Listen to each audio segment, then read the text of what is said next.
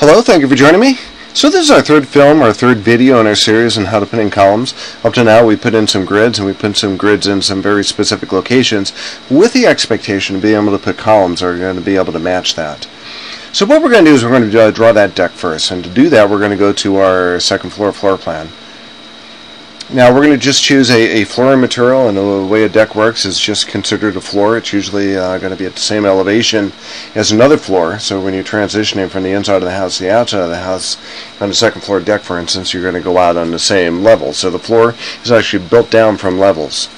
So we're going to build a, a floor on the second uh, floor, but it's going to be the outside of the house, so it's not going to have a lot of boundaries.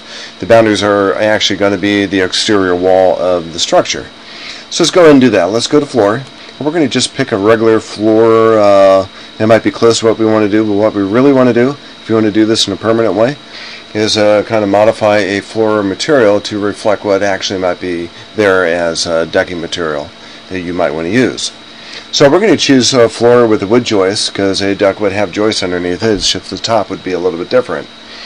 And instead of using uh, the boundary line and the pick walls option, we're just going to draw using rectangles and we're going to use the outside of the wall as a, as a reference.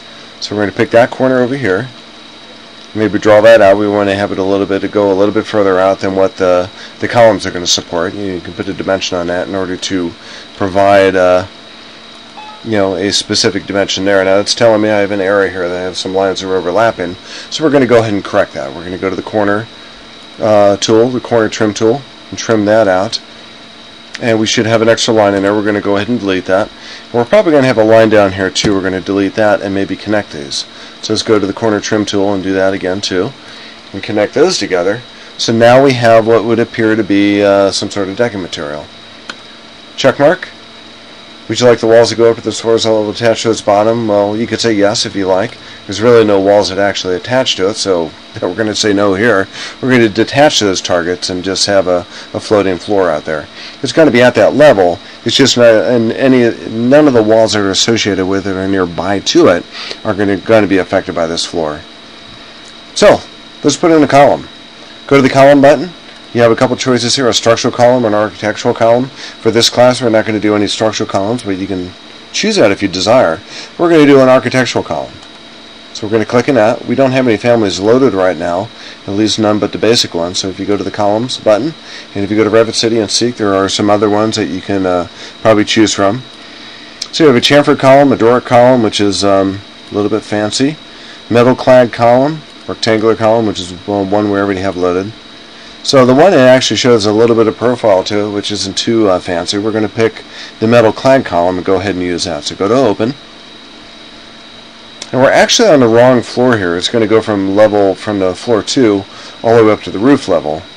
So let's go ahead and do this. Escape a couple times, go to floor 1, open that back up again, go to floor 1, up, and do that very same thing. Let's go to column. We already have that column loaded and metal clad column.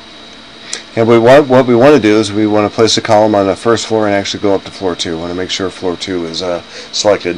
What it doesn't allow us to do right now is uh, put an offset on the top of that. So let's go ahead and put a column in here. Column in here. You notice it'll attach itself to where the grid is. And we'll put a column right here. What we should have done is put another grid line down here so we can support that portion of the of our roof deck.